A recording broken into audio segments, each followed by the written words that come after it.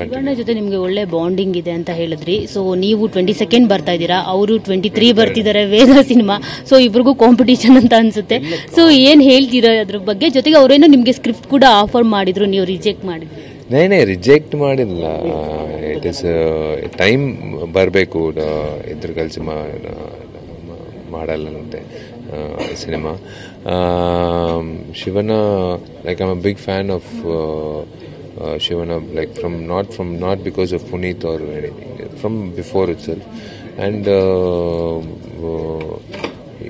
like probably in future ఏదైనా ఒక offer వస్తే definitely we will collaborate and do it in future sir ಅಭಿನಯ ಜೊತೆ ನಿಮ್ಮ ಮ್ಯಾರೇಜ್ ಅಂತ ಸುದ್ದಿ ಕೇಳಿ ಬಂದಿದೆ ಸೊ ನಿಜಾನ ಹೇಗೆ ಯಾವಾಗ ಅಂತ ಮ್ಯಾರೇಜ್ అనేది లేదు my next film is Mark Antony ಅಷ್ಟೇ ನನಗೆ ಗೊತ್ತು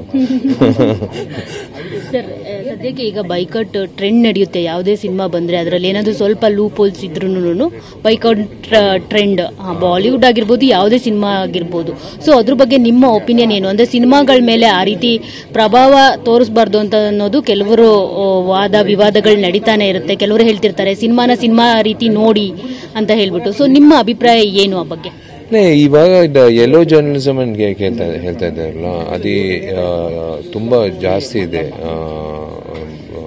Like anyone can can become a journalist so reviews ಅಂದು first ಶೋಲೋ they come out and they say so everything is like everyone is a journalist over here ಟ್ವಿಟರ್ಲೋ ಆ ಮೊಕಾಲು ತಿಳಿಯದು ವಾ ನಿಜಮ ಲೇದಾ ಅಂತ ಕೂಡ ತಿಳಿದು ಆ್ಯಂಡ್ ವಾಳು ಟ್ವೀಟ್ ರಾಸ್ತಾ ಉಂಟಾರು but it's like you have to take it అది వెళ్ళాలి దాంతో you have to take it positive and negative రెండు కలిసి తీసు తీసుకుని వెళ్ళాలి జర్నలిజం ಸರ್ ಫೈನಲಿ ಕನ್ನಡದಲ್ಲಿ ಯಾವಾಗ ಸಿನಿಮಾ ಮಾಡ್ತೀರಾ ಮಾಡಿದ್ರೆ ಯಾರ ಜೊತೆ ಸಿನಿಮಾ ಮಾಡೋದಕ್ಕೆ ನಿಮ್ಗೆ ತುಂಬಾ ಇಷ್ಟ ಕನ್ನಡಿಗರಿಗೆ ಏನ್ ಹೇಳ್ತೀರಾ ಕನ್ನಡಿಗರಿಗೆ ನಾನು ಹೇಳ್ತಿದ್ದೆ ಒಂದ್- ಒಂದೇ ಒಂದು ಆ, ನಮ್ಮಪ್ಪ ಕನ್ನಡಿಗ ಸೊ ತುಂಬ